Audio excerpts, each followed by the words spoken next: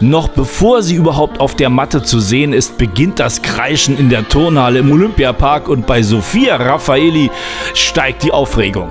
Mit der italienischen Sensationsweltmeisterin ist ein Megastar der rhythmischen Sportgymnastik in der Hauptstadt. Ein Tag für die Geschichtsbücher, das entzückt nicht nur das Publikum, sondern ebenso die Gymnastin selbst.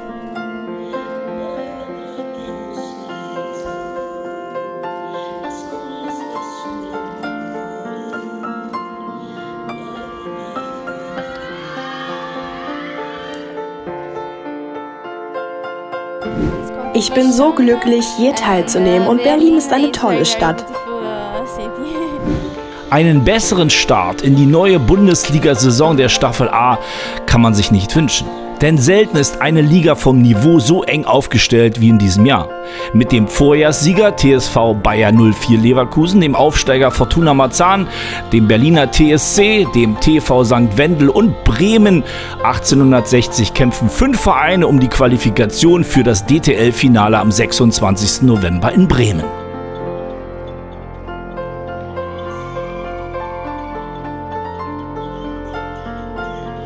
Es ist einfach so ein tolles Erlebnis, auch mit einem Team zusammen äh, starten zu können und ja, es schweißt einfach zusammen und es ist einfach eine schöne Erfahrung.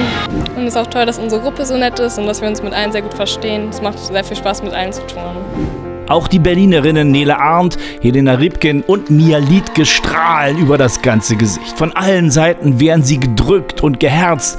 Ihren Erfolg können die Gymnastinnen noch gar nicht fassen. Schließlich trainieren sie täglich am Bundesstützpunkt Berlin, um sich optimal auf solche Bundesliga-Wettkämpfe vorzubereiten und hervorragende Teamleistungen zu erzielen.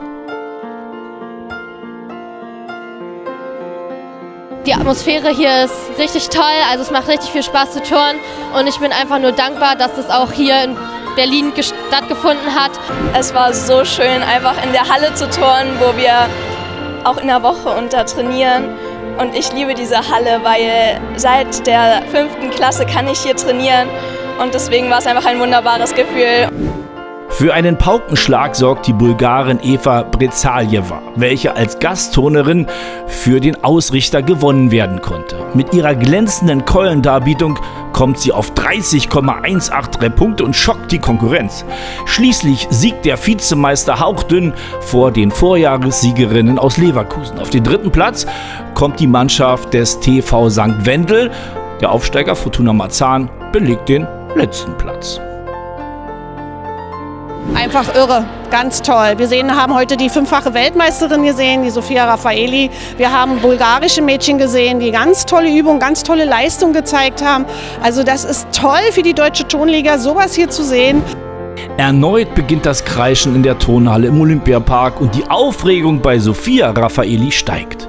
Mit der letzten Darbietung der italienischen Sensationsweltmeisterin geht ein Tag für die Bundesliga-Geschichtsbücher stimmig zu Ende.